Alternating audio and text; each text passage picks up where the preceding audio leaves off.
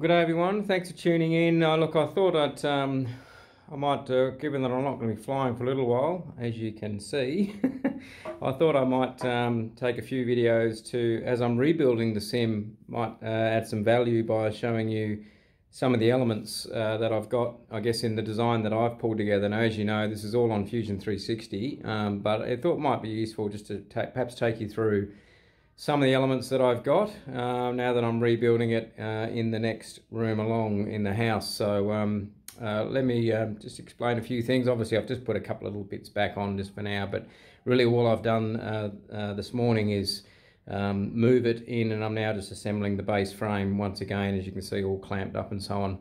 So I'll, you look, I'll, I'll stay in metric because that's what we use here in Australia. So um, you can do your own um, imperial conversions, but um, the main timber frame itself is just effectively um, it's just a treated pine because uh, it's relatively light um, and easy to easy to work.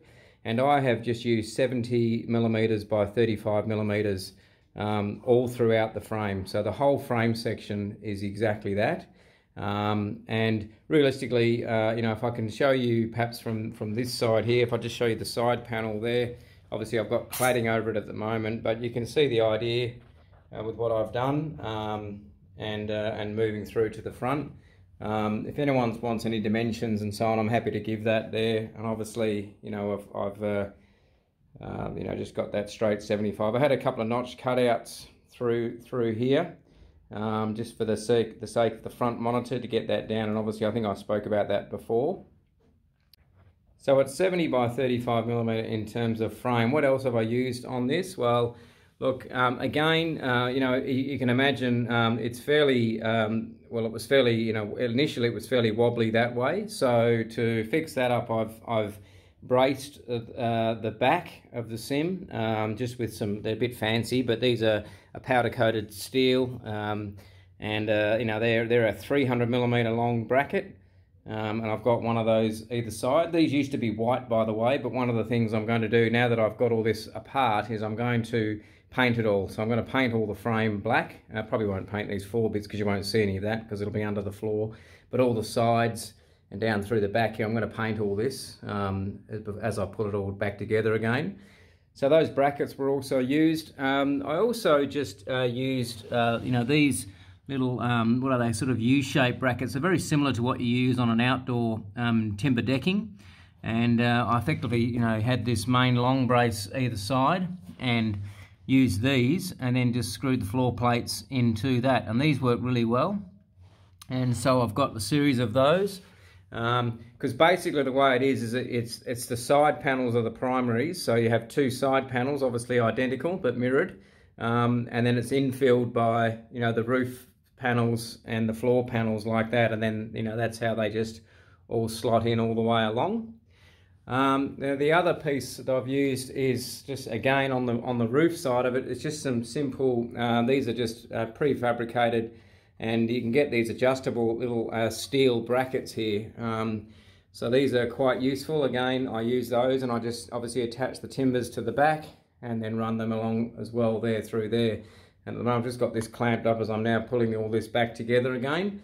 Fortunately, uh, I've got all the match holes working pretty well and all the timbers were marked, so um, it's actually going together at this point relatively well. I think that that won't be the issue. The issue will be more about the, uh, the electronics, but we'll get to that in another episode. So that's really it um, uh, for the frame. Uh, and what else have we got? I mean, obviously cladding. Um, cladding material that I used here is, uh, is a six millimeter MDF uh, all painted up. So that's just a six millimeter MDF. And I think I've spoken about this before. These little trims around here, uh, they were 3D printed, just effectively just little cappings that I just had a series of those and I just wrapped that around um, like that. And that's fundamentally it. Um, yeah, not much to it. A couple of other small bits, I guess you could argue, just for strengthening. I put these in as I was progressively moving through it. So again, I couldn't obviously put these in here because they'd interfere with the floor. Um, but in the, you know in the middle of the sim. Uh, so just some again little steel angles here just to give it a bit more rigidity and strength um, as I was doing it because obviously you don't want it wobbling um, away. So really, really, really all that's that's it. You know, there's another one of those uh, little little outdoor pieces there. Um, So again, this is just another strut piece towards the front that just keeps the front. So once it's all tied in, it just keeps it nice and stable. Yeah, as I said, pretty crude, but it, it you know, I think once it's all painted up, it'll actually look pretty good. Um, certainly uh, a bit better than when I uh, go for Mark II on it. Yeah, so there we go. I'll have all this uh, painted up soon and I'll show you what that looks like and then we'll move into phase two and as I'm doing things I'm also going to be um, you know like for example the console needs a bit of work the center console. Um, I've got other bits and pieces that I want to trim up and fix up as I'm putting together. So I'll do separate episodes on those as well and explaining what I'm doing and and how I've actually built them as well. Hope that was of help. Probably a bit waffly but uh, there you go. Talk to you soon. Bye for now. Uh, I forgot to mention a couple of other bits I've got. I've got these little, uh, these again also steel, um, just to tie in the, I mean you could obviously notch the timbers in if you were to do it really, really professionally, but I wasn't that professional with it. Um, so I just use these little plates here and then you can see I've screwed them either side just to hold the frame together. Um, so a lot of those were used, fairly common. And again, the beauty of these things is you've got multiple holes and you can get them in different lengths as well, so that was handy.